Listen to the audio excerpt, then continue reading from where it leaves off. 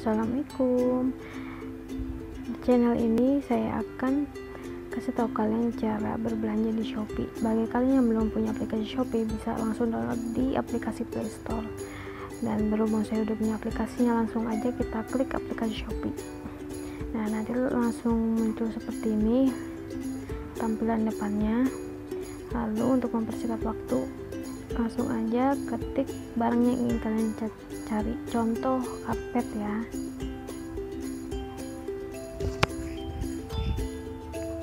Nah di sini banyak penjual yang menjual berbagai macam karpet.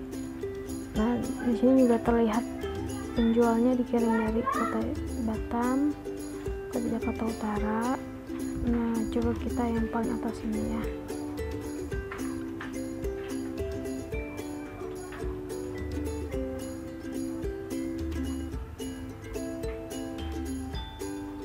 dan di sini terlihat ya kota Batam. Dikirim dari kota Batam ke Pulauan Riau. Nah saran saya bagi kalian yang ingin berbelanja carilah penjual yang sudah banyak feedback positifnya seperti ini. Ini bintangnya 5 semua full semua nih. Bagus banget karpetnya lembut bulunya semoga customerku suka karena aku suka banget liatnya. Nah ini feedbacknya ini positif sekali nih dan sudah pasti barangnya juga tidak mengecewakan. Langsung aja klik variasi. Ini banyak ya lebar panjangnya sesuai selera kalian. Lalu kuantitinya mau satu piece atau order dua piece itu terserah kalian. Kita klik satu satu pieces ya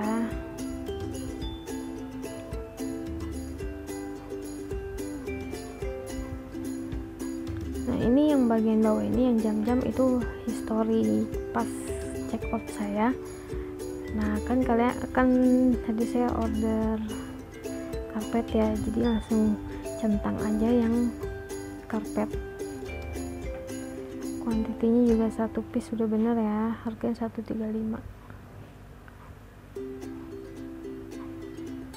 nah di shopee ini kalian bisa gunakan voucher voucher itu untuk potongan diskon ongkos kirim dengan maksimal 20.000 nah sekarang Shopee itu untuk untuk voucher itu mesti diklaim dulu. Baru bisa digunakan. Nanti klik kode voucher nanti otomatis seperti ini. Oke okay, nanti otomatis ongkos kirimnya terpotong sendiri ya ini ongkos kirim subsidi dari Shopee maksimal 20.000 tapi lumayan lumayan lah ya.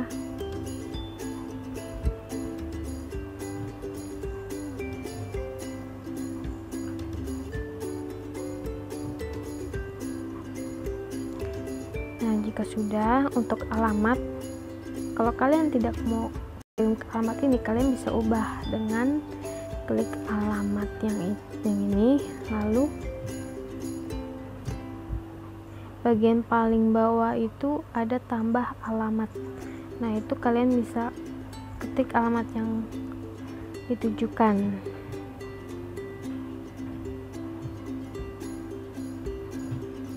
Nah ketik hmm, jika sudah kita lanjut ke opsi pengiriman.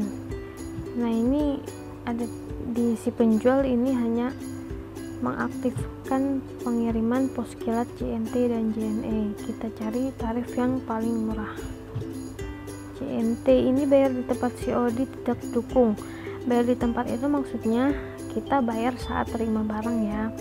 Karena si penjual tidak mengaktifkan bayar di tempat COD ini jadi tidak bisa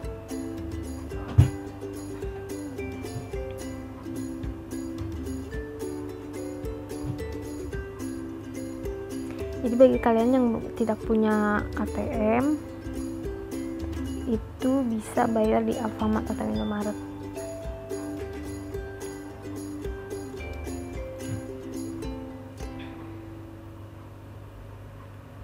Nah ini pilih metode pembayaran. Nah nih di sini nih tadi yang saya bilang ya. Transfer BCA one click Indomaret Ceria Mart atau Ceria Mart Alfamart nah bagi kalian yang tidak punya ATM bisa pilih Alfamart atau Ceriamat atau Indomaret. Nah itu kena admin hanya 2500 tapi kalau kalian transfer bank atau e, setor ke teller itu tidak kena admin sama sekali ya. Nah bisa kredivo juga cicilan dalam 30 hari. Aku juga bisa. Nah kita coba yang transfer bank BCA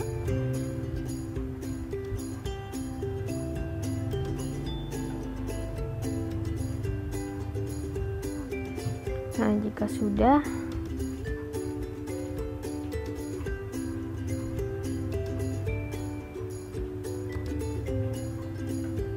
ini ongkos kiriman sudah terpotong sendiri ya.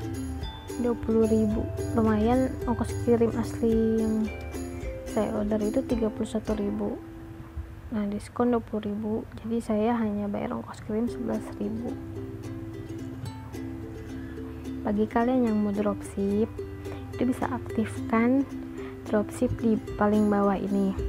Ma, uh, kalian ketik nama dan nomor handphone. Ketik nama online shop kalian dan nomor handphone. Tapi jika kalian tidak mau dropship itu bisa di nonaktifkan aja.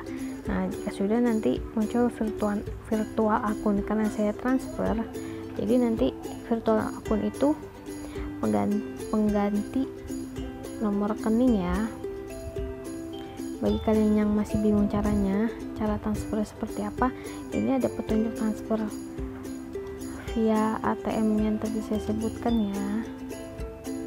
Dan buat kalian yang belum subscribe silahkan subscribe dan like share and comment.